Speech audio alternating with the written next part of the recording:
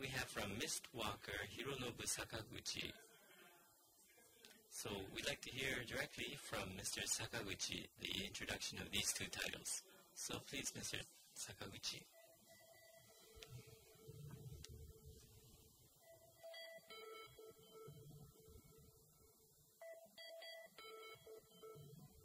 Uh, sorry.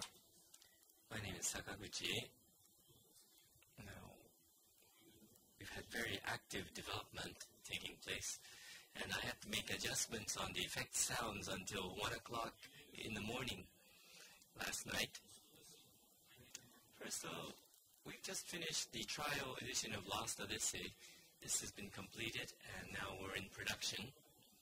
And for Blue Dragon, it will be another one month and things are moving smoothly, although it's going to be tough from here onwards.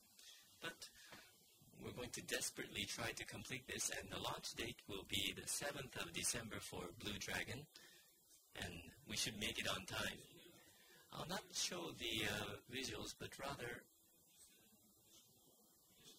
I'd like to actually play it.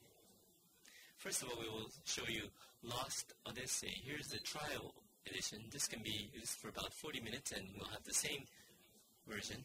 I'm not going to play the full 40 minutes, so perhaps about 10 minutes we can show you the game with myself actually playing the game.